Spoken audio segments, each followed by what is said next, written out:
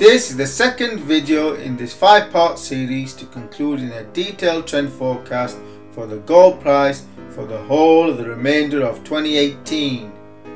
However, the whole of this analysis has already been made available to patrons who support my work.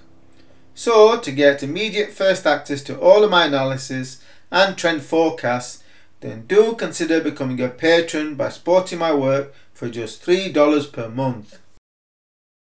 Trend analysis. I have closely watched the gold price since early August, though I held off publishing my analysis because the probability for a bottom was deemed to be too low given the weak price patterns that subsequently resolved in a further break lower to 1167. So a reminder to my viewers who eagerly await my analysis that there are times when the price patterns are just not clear enough to conclude in a high probability trend forecast. However, since 1167, the gold price has shown its strongest rally since the downtrend began of the mid-April high. So an early indication for putting in a bottom, confirmation of which will be a break above resistance at 1221. Resistance. There is heavy overhead resistance between 1260 and $1300 that the gold price is going to find tough breaking through. Support.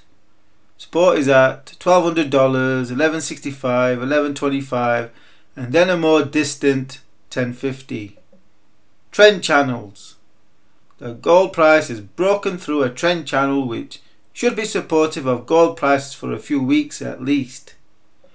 Overall, trend analysis paints a picture of a market stuck in a trading range with an upward bias, with no signs for an imminent breakout higher, with the immediate trend implying a marginal correction lower.